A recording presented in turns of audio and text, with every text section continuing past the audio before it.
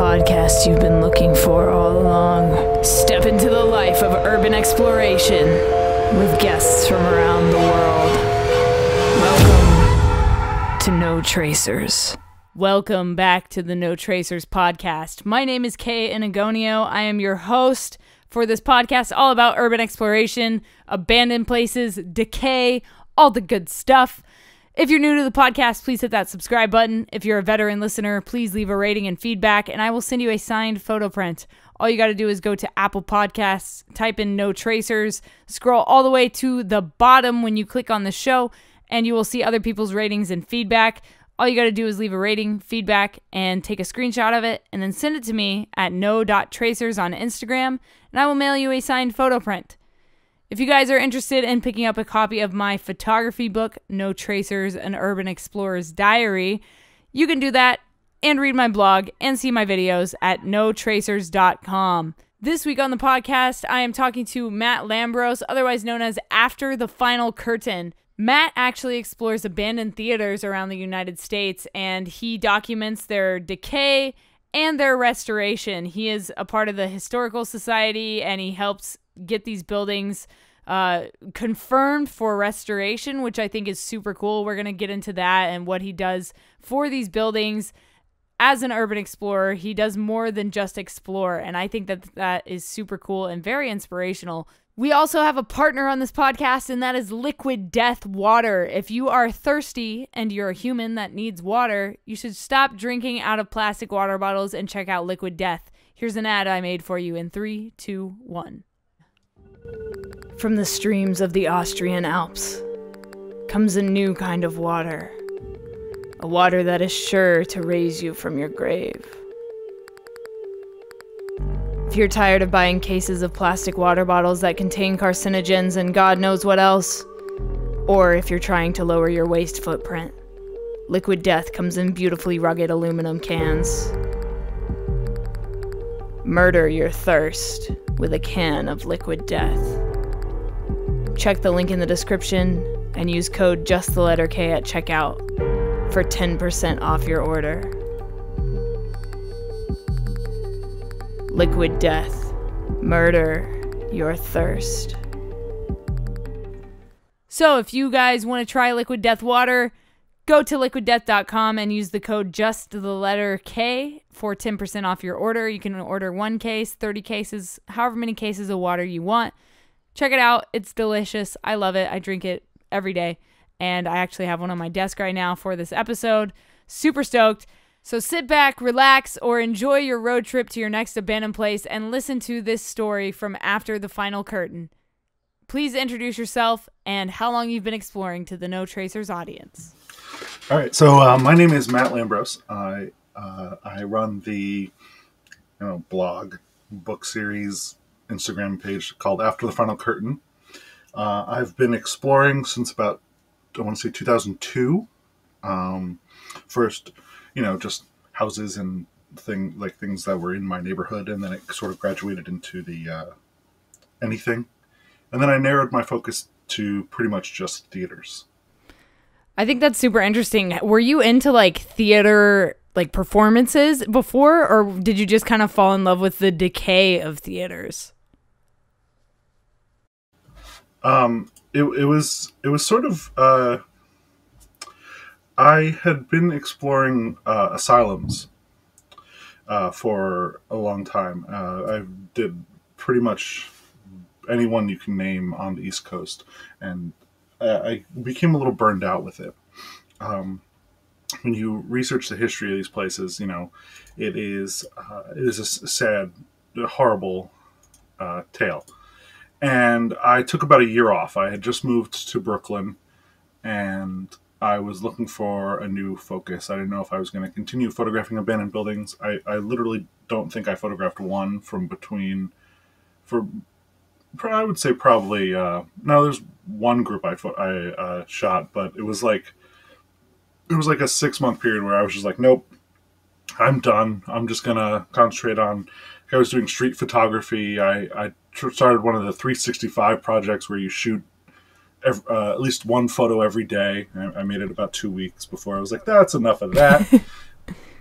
and uh, I, uh, I, you know, I was just, what, what do I want to do with it next? And I went to see a movie with some friends at the uh, Village East Cinemas. It was the, uh, which is an old Yiddish theater that was converted into a movie theater. Um, and we were watching a movie called uh, Poultrygeist: Night of the Chicken Dead. And I don't know if you're familiar with the Troma films, uh, The Toxic Avenger, uh, Tromeo and Juliet. Mm. They're horrible movies. I mean, they're but they're made that way, and I, I have a and my friends, all, we all have a thing for that.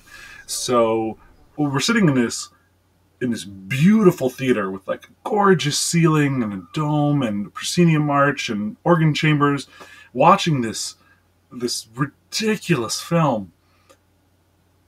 And just I was just looking around going, man, I wonder if there are abandoned theaters.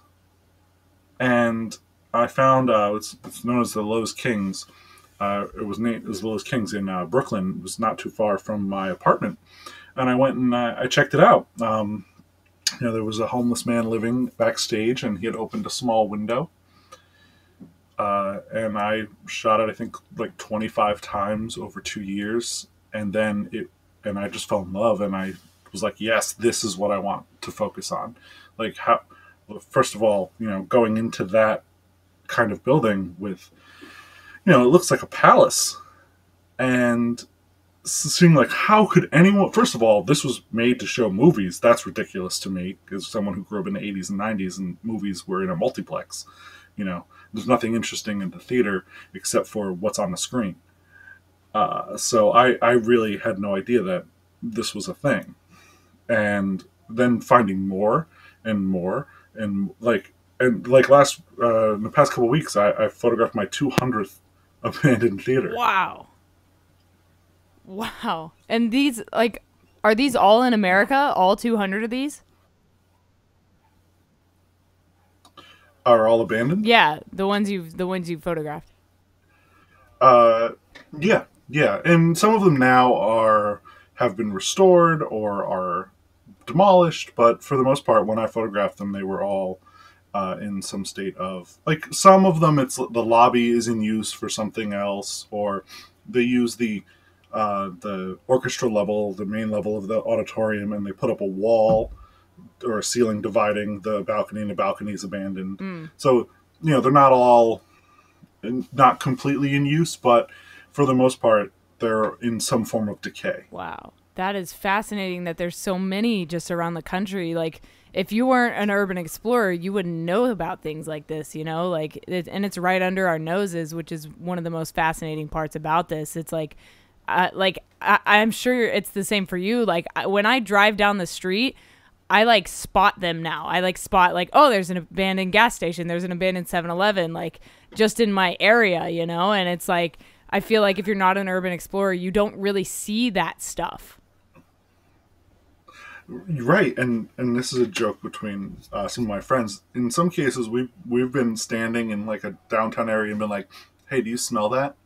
and it's like the smell of must, like that cold, yeah. like musty smell that you're like that you you know the that hits you when you first go into an abandoned yeah. building, and we're outside and we're just like, uh, where is it? Where is it? There's something around here that's like abandoned.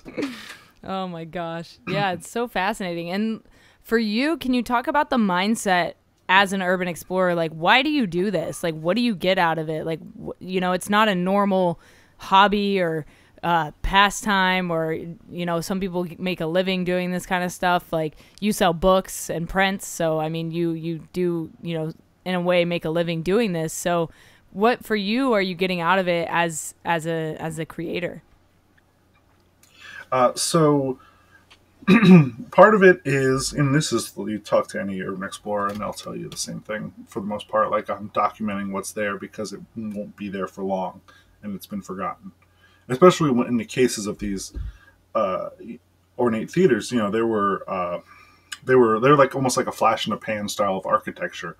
They were built in uh, you know the really grand ones. I would say from the 1920s to the like late 1930s. That was the period that they were built, and you know there were thousands of them across the country. Every town and city had at least you know cities had you know, tons of them, but every town in the country had at least one.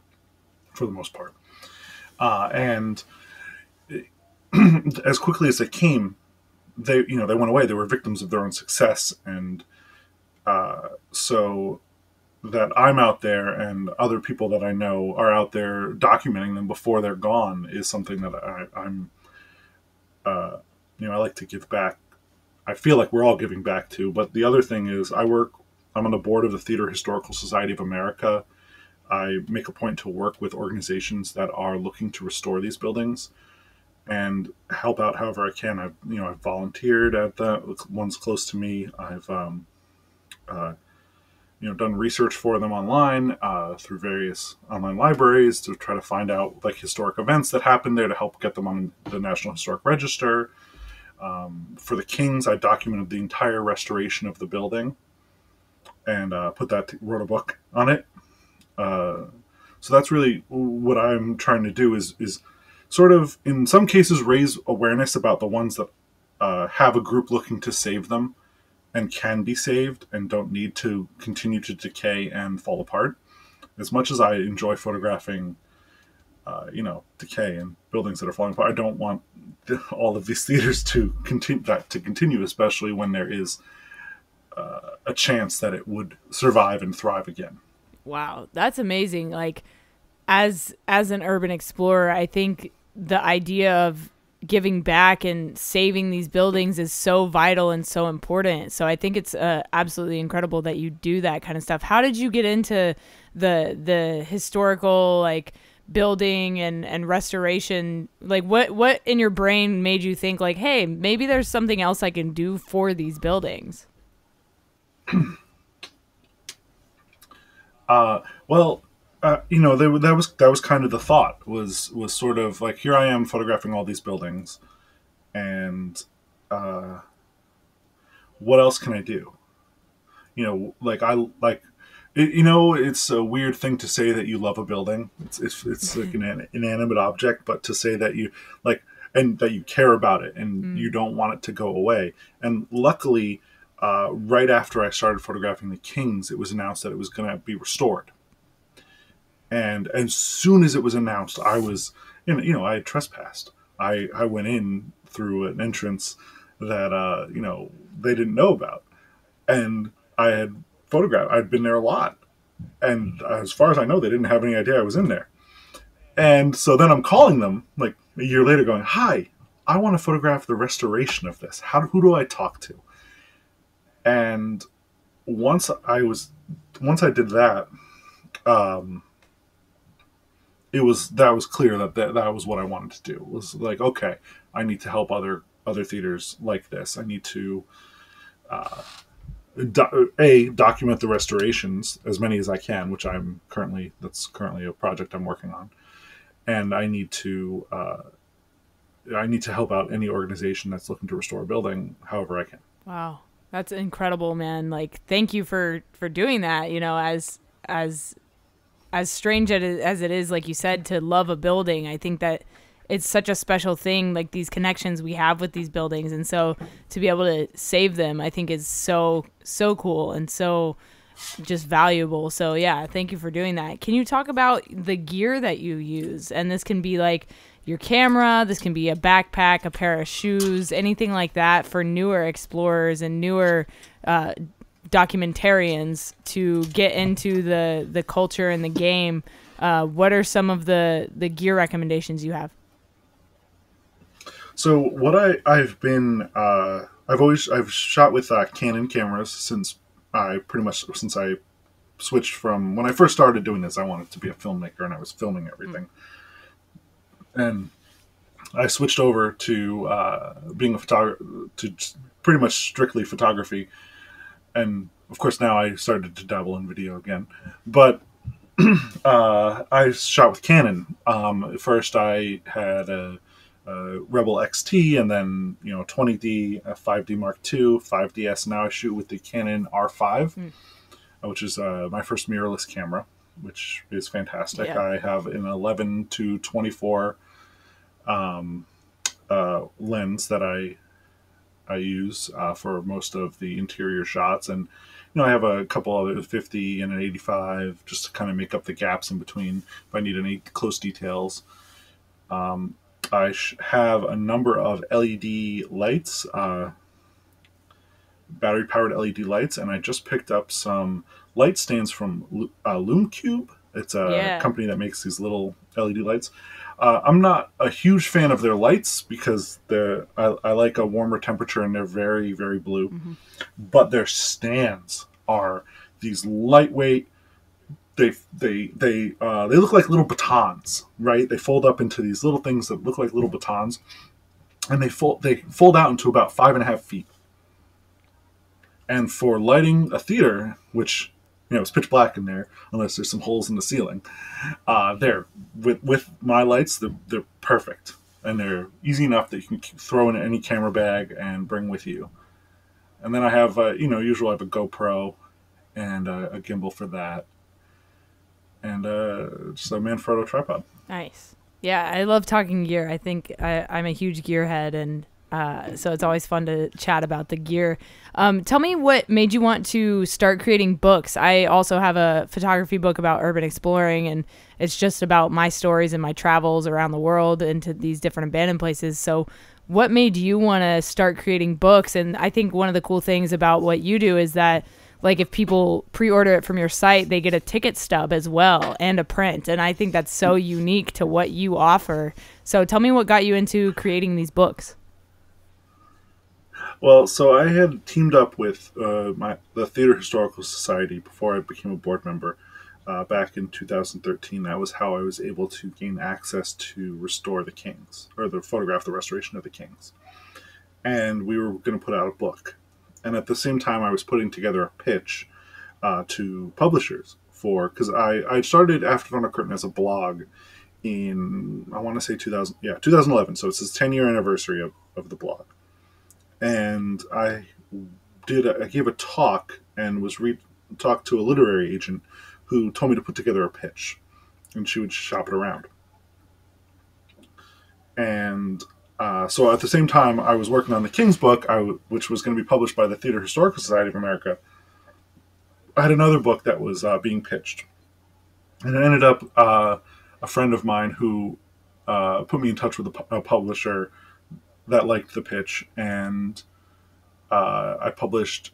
He he has uh, it was Jonglez um, Publishing, and he was doing an abandoned series. So I did my that ended up becoming my first book. It came out before the King's book, uh, after the Final Curtain, uh, the fall of the American movie theater. Wow! And that came out in 2016, and we did a follow up uh, after the Final Curtain, America's Abandoned Theaters in 2019. Wow! That's awesome. Yeah, I'm, I'm. And those are more. Go ahead. Oh, sorry. No, you're good. Uh, say those are more. Uh, they're not so much about me, like my my experiences in the uh, in the theaters. Um, it's about the history of them. You know, I, I, I have a little um, blurb in the beginning where I talk about about things, but it really is more about the buildings, and I wanted to profile them uh, for a wider audience. You know, a, a book gives a little more and uh, as you know you have a book out a little more than a website. Mm-hmm. you know if you if you have a book and you can point to the book and say read this or look at that people will take you more seriously. Um, and that really i think helped open some more doors. And i wanted people to see um, more about the history of the buildings. And it really was a hey, everyone, these are still here. You know, sort of a call to arms. Like you can do something about this. Because my my number one email that I get from people is, "Oh, I walk by that every day. I, I had no idea that existed. My grandmother used to tell me stories about that building." Wow. And you know, you, you think once a building kind of falls out of the public eye in that way, where like you know a theater like this, like let's say uh, the marquee is taken off, and it just kind of looks like a building, and it's boarded up. The majority of people, it's not like us, where will we see that and they're like, "Hey, what is in there?" um, the majority of the public is just like, "Ugh, look at that! Get it!" Like either demolish it or they just don't pay attention to it, and it's just like there's nothing there. It might as well be an empty lot. Yeah. so if you know you're looking to to do anything to aid any group or anything. And i tell every um, every group that has possession of a historic theater that is looking to restore it is get the public involved to make it seem like it's theirs so that they will take ownership and want to bring it mm. back. Absolutely. Because for the most part these have been closed since the seven like i would say average 70s 80s so you know you got 40 years that these have been closed for. So the majority of people didn't go to a show there. They didn't go to the movies there. They don't you know they have no ownership of the building. They don't know or care what it is. Mm. but if you if you i find if you, the best way to get people interested in in historic theaters is to bring them into one and show it to them. Yeah. Just like look at this. You know? Yeah you got to make them it's a little different than you got to make them be a part of it. Mm-hmm exactly and, and that goes for other abandoned architecture you know uh, industrial industrial architecture like old uh, steel plants and things like that. It's just so amazing to look at and such a t- visual treat. But I feel like theaters are kind of unique in that, and churches too, to that extent, that the architecture is beautiful and you can do so many other things with it. It doesn't have to be a theater or it doesn't have to be a church. Like they can be adapted and, and reused as so many different ways. And I've seen so many, like seen theaters turned into gyms where they just flatten the balcony and flatten the floor and put all the gym equipment there, and you know you stare at the beautiful stage and proscenium area while you work out. Wow, that's cool. That's super cool. I can't imagine like yeah. going into a gym and it being like an old restored theater. Like that sounds awesome. Like I definitely want to experience you, something like that. You're in California, right? Yes. Uh, Huntington Park, uh, the Warner uh, Warner Pacific Theater. It's uh, I think a Crunch Fitness now. Okay. And you can just go in and see it. Yeah, check Warner it out. It's Pacific great. Theater. Okay, hmm? I'm writing it down because that sounds yeah. absolutely incredible. So, can you tell me about your scariest experience exploring? I know that you do a lot of like stuff with restoration and stuff, so you you may not have like too many scary exploration stories, but I would love to hear one if you've got one. Oh, Oh, I, have been exploring for about for about twenty years. I got quite a few scary experiences. Um, you want me to tell you about the time I was shot at? Yes, that would be great. all right, all right. So this was I want to say two thousand four ish. Um, uh, we I was exploring uh, Danvers State Hospital in Danvers, Massachusetts, with a bunch of friends, and one of the friends brought this uh, giant like it was like a million candle power flashlight. It was it basically you could shine it at someone and it would look like daytime all around them because it was just so bright. And of course, it only lasted about ten minutes. So we were up on the cafeteria roof, and I forget if people had been throwing stuff down or pushing stuff off the roof. I don't remember what had happened, but the security guard was super on edge. It might have been even before we got there but we showed up. My friend shined the light down at him, and when he shined the light, he turned and fired a shot in the air. Whoa! And we took off and ran into like so you the cafeteria roof. You run through that, and you're in the uh, in the auditorium. And then we ran. If you go straight, you're right in the admin section. So we were just kind of like let's just stay here for a second and you know we'll walk around and see if we see what's going on maybe that wasn't what we thought it was so the walkway between the admin and the uh, auditorium area had no windows uh, no boards on the windows and you know it was just out to the air and as soon as we walked in there uh, bang bang two shots rang out and and like we saw an absolute shot spot on the wall where a bullet had hit. So we immediately backed off and hid in the attic because it was, you know, one of the safest, easiest places to hide. And we stayed there for about a half hour or so before creeping back out to the cafeteria roof to see what was going on. And I guess the security guard had called the, the police. So the police had come up and they were yelling up to us. Like we, we yelled down and we were like, he shot at us and and in the meantime, I guess the security guard had killed a deer in the front yard of the uh, asylum, like with, with his gun, and he blamed it on us. Said, "Oh no, the kids in, uh, broke in the building and they have guns and they killed that deer." Wow. We, we definitely didn't have any guns. At least I didn't, and the fr- the group that I had come up with didn't. I don't know if there was someone else in the building who had a gun, but uh, anyway, so we were yelling down to him, uh, "Check his car!" That we watched because we watched the security guard put his gun away. So we were like, "Check behind his seat. That's where it is." And the cop went over and checked and saw that he had a gun, but the guy was he had either had a permit or he was an off-duty police officer, so they didn't care. And he was like, the police officer was like, "Come down here and tell, and we'll talk about it." And we were like, "No, no, we're not going to come down there. Have a nice night." And we, you know, took off and got out safe and fine. But it was it was for about an hour or so. We were all like, "Ah, what are we going to do?" And this was Christmas Eve, by the way. Fantastic. Wow. Yeah. Um, so that that was a that was an interesting. Uh, yeah, I didn't go back up to that building for about three months after that. I was like, I'm gonna, gonna stay home. I don't feel like I want to risk getting shot at again. For sure. Yeah. Anytime there's a gun involved, like it's not a good time. It's just not a good time. And we've heard a couple stories on the show about, you know, people pulling guns out on explorers and things like that. And I I've never been in that situation personally, but like dang, that's that's definitely a scary, scary situation. Um and then what has been your favorite exploration overall? I know you've done this for quite a while and you've been to a lot of places. Do you have a, a favorite one or two explorations you've been on? Um, well, I think my, my first time walking into the King's Theater was, uh, you know, coming from backstage. Uh, it, it was sort of, you know, it's funny because the other story I was going to tell with Scary was also the first time at the King's because I walked into this, you know, I went into this uh, obviously a homeless person's like house basically. The back he had the dressing rooms were turned into that. And I couldn't figure out how to get from backstage to the actual theater itself. So I was walking around and I walked into a room that was full of brand new or new looking backpacks and purses. Hmm.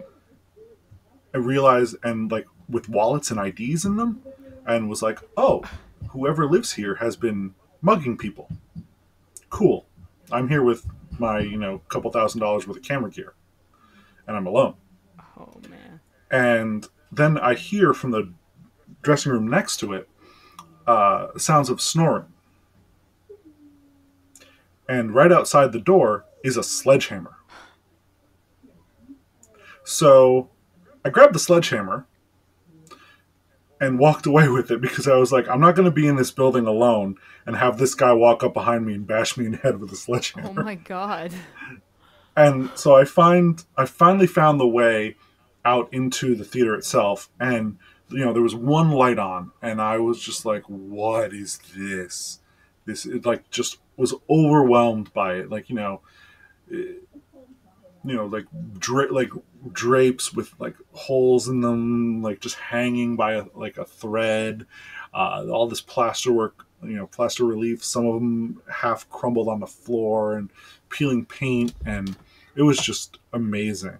It was and then walking into the lobby and seeing all the chandeliers still in place and that had a bunch of natural light coming in through the front doors and it was just it was amazing. Look it was beautiful but I could only convince myself to stay there for about an hour because I was like, I am alone in this building. There's one way out, and it's right next to a guy sleeping who ha- was mugging people, and there's a sledgehammer. So I was like, I don't know. I ha- I, mean, I had the sledgehammer with me. That didn't leave my side, but who knows what else he has in his room. Mm. And on later trips to the theater, I made sure to bring people with me. Uh, we'd hear him backstage making a ton of noise trying to scare us out of the place. Wow. Dang. But we always avoided going back there because, like, back into his area, we kind of left him alone.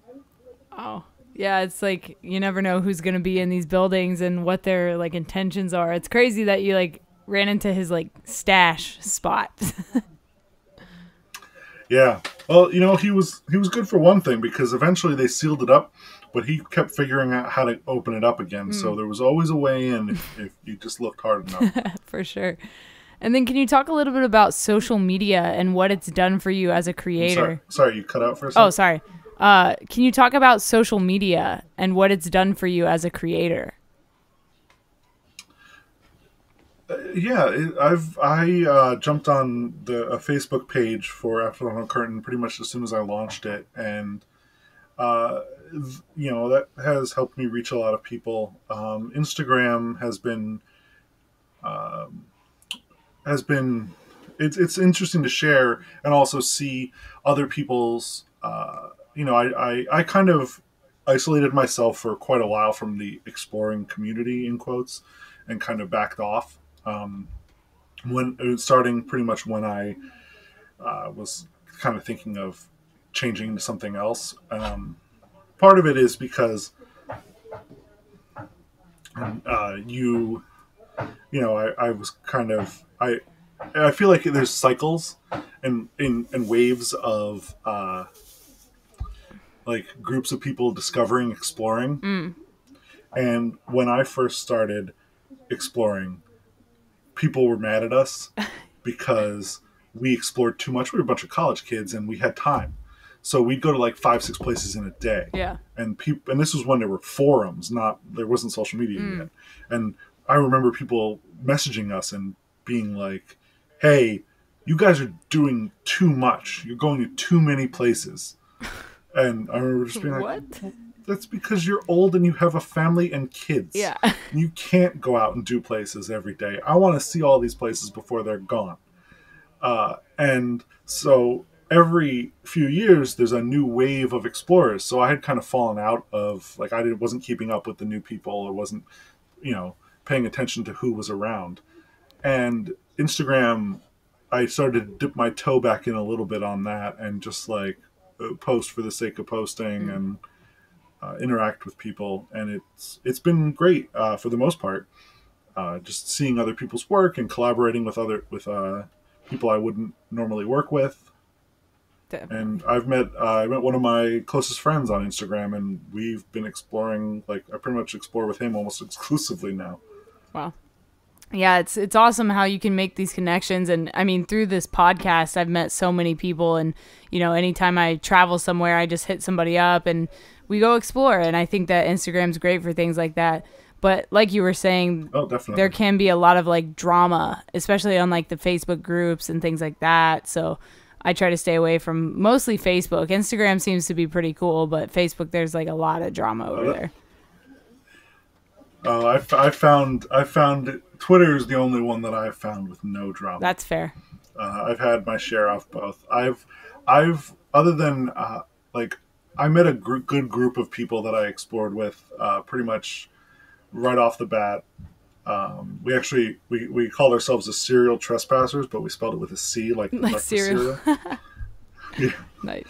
And uh, that was our that was our group because back then every explorer group had their own weird names. Mm-hmm. Like that. That was like a thing and exploring for a while instead of you know how now they have the like hubs that right. are like you know decay all day or whatever. They they were everyone had their group had like there was Fallout UE. Mm-hmm. Um, you know, it was Serial Trespassers. There was Abandoned Spaces. There were, you know, they were all everyone all had their own group, and and that was ours. And I've pretty much kept in touch, and we up until COVID, we pretty much went exploring. One of them actually came with me on a road trip during COVID. Nice.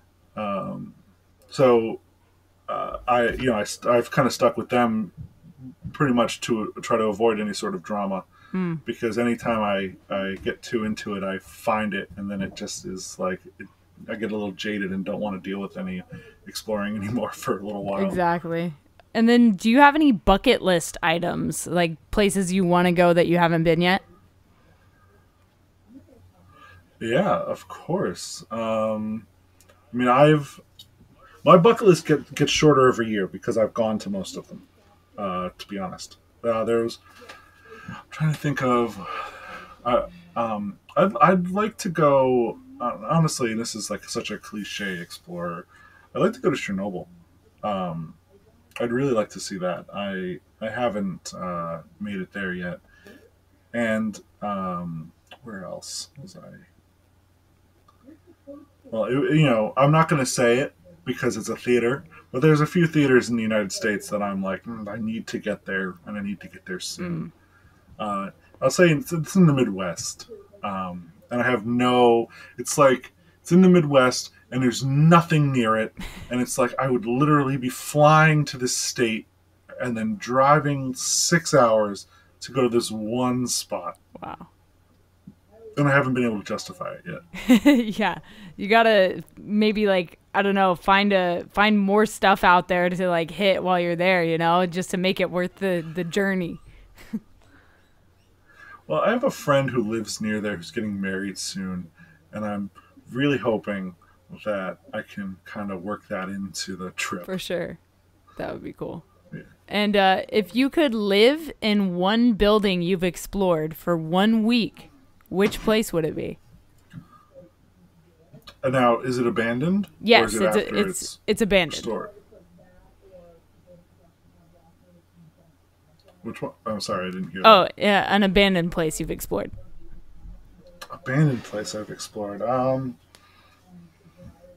so I'll, I'll, get in trouble for this because it's not technically abandoned, and the people who talk, who I know that deal with it, it's just not being used right now. Uh, the Uptown Theater in Chicago, Illinois. Mm. That is, I would, I would, I could shoot there every day for a month and not be satisfied. It is beautiful. I've heard a lot about that place. Yeah, it is gorgeous, but it is like I've I've been in it twice uh, on tours, and uh, it is just like I don't know where uh, where I would even begin with it. I love it. And my last question for you is what is something you know now that you wish you knew when you started all of this?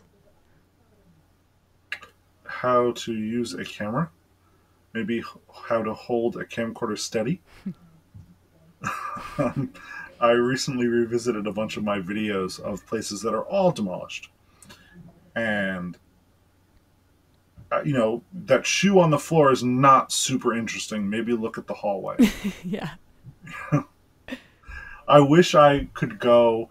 I wish having the, and I don't think I'm like the best photographer in the world. I'm not saying anything like that, but I wish I had the knowledge um, and camera skills I have now when I started mm. because I think I, I, like I would have, have documented some amazing places that are long gone, and the photos that I have from them just don't do the buildings justice. Yeah. Definitely. I can totally relate to that. You know, I wish I could go back and revisit some of these buildings and take photos, but the buildings are gone. So it's like you you have what you have and like even back in the day I used to shoot in like JPEG instead of RAW and so now I'm like great like I can't even do anything with these photos. Oh, you know, when I first started taking photos, uh, I had I had gotten a my mom had gotten me a uh, a 2.2 Kodak 2.2 megapixel Kodak Easy Share camera for my high school graduation. And that was what I shot with and it had like eight megabytes of internal memory. So I would go shoot a place. This is before I bought a compact flash card.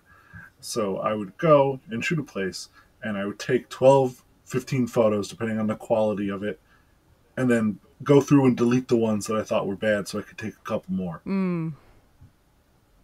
You know, it, I, you know, was, when you're just a kid and you have no idea what you're doing. Yeah you know, and I'm I, I feel that way about places I shot last year.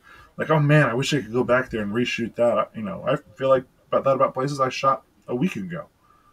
Like, oh, I should have done that differently, or I should have shot it like this, or, and so I, I always like to, if I can, go back more than once. Like, I'm never satisfied with my shots from a place, never, and I feel like that's just what artists are like. Like, I have to eventually be like, that's good enough just like you can't constantly go back and redo it.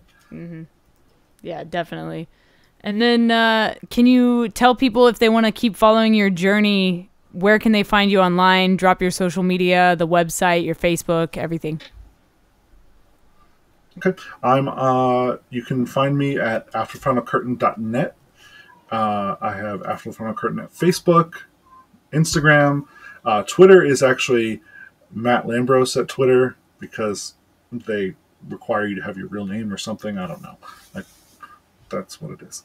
And uh, yeah, then my books are on Amazon or any bookstore near you. After Curtain, and uh, my King's book is King's Theater: The Rise, Fall, and Rebirth of Brooklyn's Wonder Theater. All right, guys, that was my episode with After the Final Curtain. If you guys want to check out his social media, I've linked all of his things down below for you. You guys are the absolute best. Please leave a rating and feedback on this podcast to let me know what you thought of it. And if you do leave a rating and feedback on Apple Podcasts, take a screenshot of it and send it to me at no.tracers on Instagram, and I will send you a signed photo print. And if you would like a signed photo print, and a copy of my book, No Tracers and Urban Explorer's Diary, please head to notracers.com. You can read my blog, you can see my videos, and you can pick up a copy of my book. Thank you guys. I'll talk to you next week for another episode of the No Tracers podcast. Stay strong, keep enduring, go out, go explore something, and remember leave no trace.